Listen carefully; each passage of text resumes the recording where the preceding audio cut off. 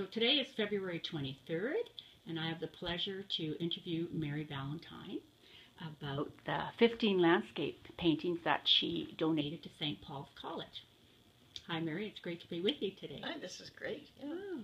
Uh, I was wondering if you could begin talking about um, what draws you to landscape as a subject. I don't really know, except that something clicks. I see something and I want to paint it. And it's usually shapes and forms and color and, um, and a mood. I know that uh, I've spent a lot of time walking around and I finally settle on something that looks like I would want to do it. And it could be something at my feet or something in the distance. And I've had many happy hours just sitting outside by myself, working on a, on a piece. I've done a lot of work in pastel outdoors because it's much easier to carry and uh, it doesn't rub off on your clothes like wet paint would. I know these landscapes um, um, are in places all across Canada, the North, Newfoundland, Yes. Manitoba. Are there any uh, favorite spots that you have, perhaps? I well, recently I've really enjoyed Newfoundland. It's it's rugged and it's quaint at the same time and colorful, and a, and a a nice uh, combination of being reasonably comfortable in where you stay, and uh, comfortable in working outside too. But I have stayed in much more uncomfortable places, which are fabulous to paint. So. Yeah. Are you, are you thinking about uh, the North now? Maybe? The north, yes, Yeah. was challenging. I was younger when I was doing it, but still, it was less than 15 years ago. I was sleeping in the back of a truck up in the Yukon in Alaska. So, Wow, even that recent. yes, Oh, that's amazing. Because I read in in the wonderful book that Pat Bovey put together on on your life. Um, that at one point when you turned 50, you had kind of cashed in everything and just decided to go for it. yes, And you went up north. You hitchhiked at one point. yes. Yeah. Well, up north, you hitchhike on planes more than you do because the roads don't connect anything. They're Yeah. roads around the town or the village, and uh, but uh, if you play your cards right and don't upset people, they they come forward with a ride, and it's all done under the table because there's no one checking. And uh, very a lot of pilots have uh, landscapes or drawings of their plane and. oh right, the barter system. A barter system, yes.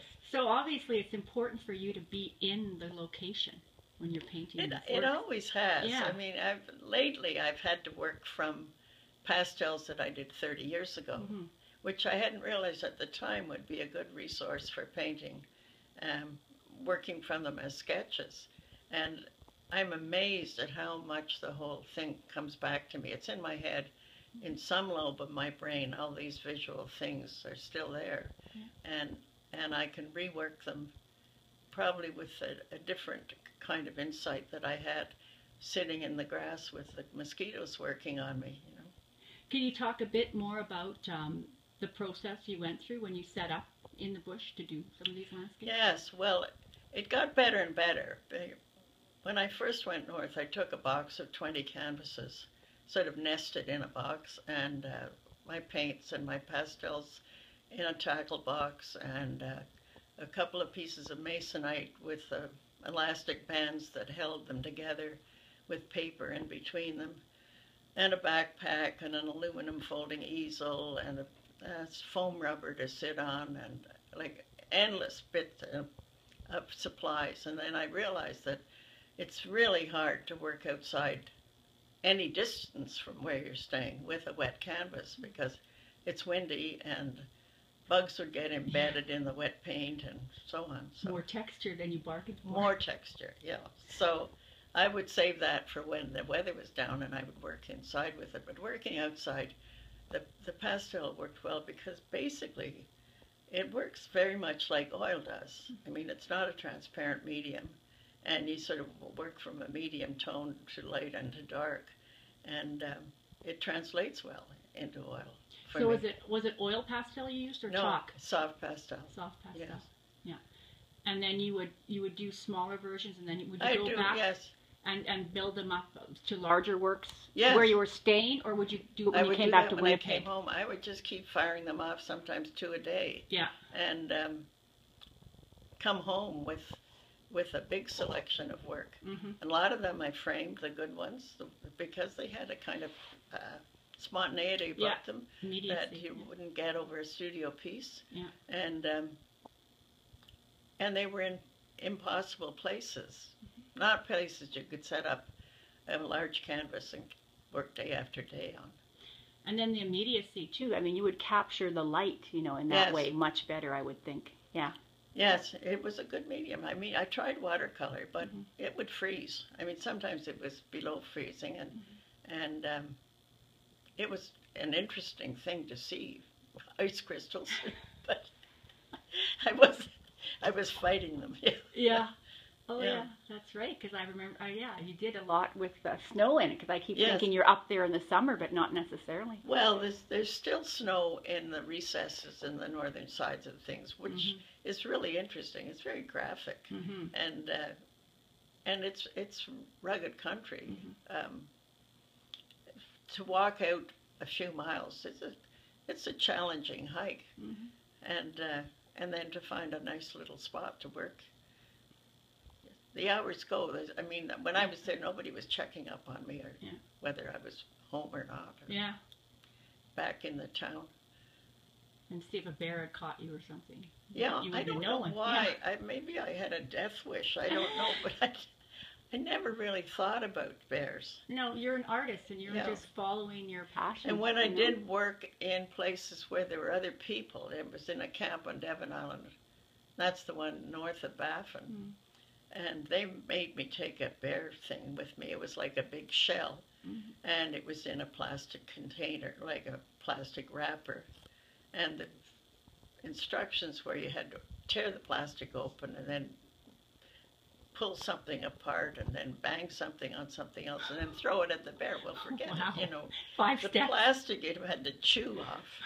So I, I sort of figured, well, I could see 90 seals out on the ice sunning themselves. I thought he'd go for them before me. So Yeah, there you go. I just calmed myself with that. Yeah, yeah, no. Uh, and also notice in the collection at St. Paul's, um, a lot of the landscapes have a, a vantage point kind of three quarters of the way up. Yes. And on a whole, the palette is quite subdued. Can you talk a bit about your color choices? Well, it's interesting when I was when I was painting up north. Uh, there's some stuff growing that is green, but basically green isn't a big color. And when you get down south, you have to deal with green, and green is a very uh, brilliant color as it comes out of the tube, and it doesn't it doesn't work with uh, the other colors. So to uh, well, the, the chagrin of people who tried to reproduce them, that my greens are, are really mixed quite heavily, and uh, certainly my uh, teacher, John Lyman, who was my painting teacher years ago, he was big on mixing colors, and he's I don't know who he was quoting, but he said, uh, "Give me mud, and I'll make it look like the skin of a Venus." If I'm allowed to surround it by my own colors. Uh-huh. Interesting. So would you blend, what is it, like umber into the green or maybe some grays? I'm just trying Yes, to, yeah, yeah. to tone it down. Um, the no, it wouldn't be grey, but I would I would do um, probably uh, burnt sienna. Yeah, burnt sienna, the brown. But uh, until I got the color I want, that would Mhm. give you a good mossy green, Mhm. and uh, and then you know, but not a lot of, of brown or black in with it. I was thinking sienna, actually. Yes. Yeah, to tone it down. Because I, I- well, okay, that's that's great. Now I want to focus on um, the painting called The Lake. Is that the one from Yes. 2007, I believe? Um, can you just um, talk a bit about that painting and where you did it and how it came about? Actually, I did it at Minaki. oh, and um, from a boathouse, and that at that little sort of cove in the foreground had ducks in it. Actually, they they didn't make it into the painting. I don't put a lot of wildlife in paintings. that yeah, that's another thing I was going to Yes. ask about. Yeah, but it's the landscape. Yes, Yeah. and uh, the landscapes are usually devoid of, of any animals. Um, I did I did a painting of the uh, Queen Charlotte's, and they have they have these tiny little deer there, and I put a deer in because it, it helped with the scale of everything else. Yeah. But uh, no, so that that piece of the lake, I've I've seen people react to it, and it, it is because they feel they've been there, and it's a, it's a place that I guess the the isolation and the and the peacefulness of it is evocative, and they they have whether it's their lake or a lake they've been to somewhere else, it's a kind of iconic lake, and it's it's interesting to me. Every so often I do something like that and and hit people where they where they're tender, you know. Yeah, yeah no, I, I find it, yeah, tender is a good word. And um, it's like a distilled moment in time. And you Yes. capture this, and there's a softness to it.